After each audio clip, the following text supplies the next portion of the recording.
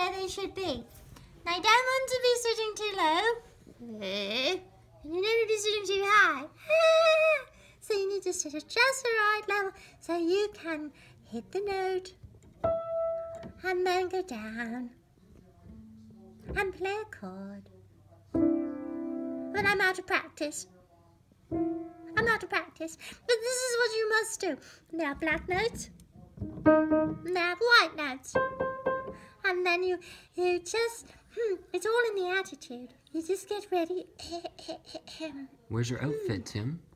It's at the cleaner.